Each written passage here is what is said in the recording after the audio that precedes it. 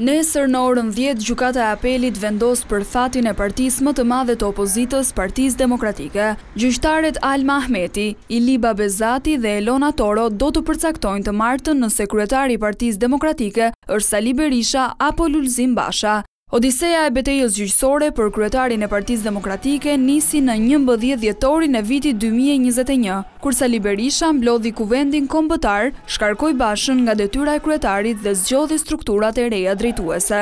Berisha fitoi betejën në Gjykatën e Shkallës së Parë, por humbi në Gjykatën e Apelit. Në dhjetorin e vitit dy mijë e njëzet e tre, Gjykata e Lartë riktheu çështjen për rishqyrtim në Apel.